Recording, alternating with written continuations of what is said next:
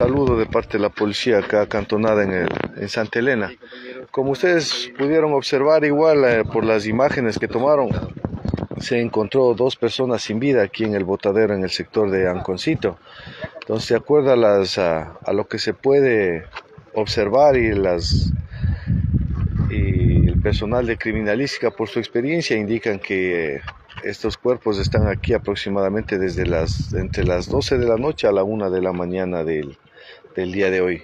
No tenemos los datos completos de una persona, el otro es, uh, es José Antonio, de apellido T, y la otra persona todavía no ha sido identificada. Se encontró varios uh, indicios balísticos en el lugar y ahorita ya se va a realizar algunas diligencias investigativas para poder primero identificar a los cuerpos y luego ya empezar a trabajar en lo que pudo haber pasado y llegar a, a determinar alguna situación. Por los indicios balísticos, coronel, aquí fueron acribilladas las personas en otro lugar. No, no, por los indicios balísticos es aquí, o sea, aquí. Estas personas les han traído acá, se les ve que están amañatadas igual, si de pronto sufrieron algún tipo de tortura para sacarles alguna información, se presume, pero esas personas fueron victimadas aquí en el lugar.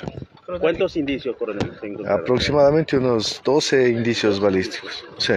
¿Hay cada uno o...? No, no, no hay ningún tipo de mensajes, ni panfletos, ni nada de esas cosas. en la cabeza, acuerdo a lo que se puede observar o no? No, no, no, ahorita no se puede determinar los lugares donde están los uh, ingresos y salida de, Había de las... cadáveres. Sí, rigidez en los cadáveres, pues se presume que están algún tiempo, algunas horas aquí en el lugar. ¿Antecedentes penales, coronel? No, no, no podemos, como le indicaba, ver los antecedentes en vista de que recién estamos uh, teniendo la información de la, tenemos que sacar primero la información clara de quiénes son estas personas y aquí en el lugar no nos permite porque no existe señal de celular. ¿Serían de aquí oriundos de la parroquia en Concito? No, no, eso le indico, o sea, no, no tenemos ahorita claro quiénes son las personas, primero tenemos que determinar quiénes son, luego ya empezar las investigaciones. Coronel, se relaciona con un, un caso en concierto también que asesinaron aparentemente se el hermano, el hermano.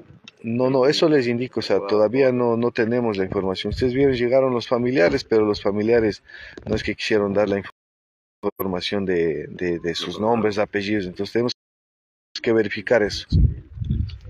Hace poco minutos a mí querían, como hubo un inconveniente por parte de la familia, que querían ahí... No, no, no es inconveniente, o sea, eso es razonable porque o sea, es un hijo, es un hermano, es un padre que quiere venir a verle al el cuerpo, entonces lo que se les pidió es que nos... Uh, que respeten lo que es los protocolos que se maneja dentro de lo que es una muerte violenta para luego ya llevarse a los familiares al lugar donde ya pueden observar a sus hijos, si es que es su hijo, su hermano o el familiar que es. Repítanos Sí. los datos, coronel. Eh, soy el teniente coronel Franklin Yacelga, me encuentro al momento como jefe de la subzona Santa Elena. Muchas gracias. Gracias. Sí, gracias a ustedes. Aproximadamente los señores. Por la, lo que se les observa entre unos 22 años, 28 años más o Cada menos. uno, cada uno, sí. Sí, cada uno.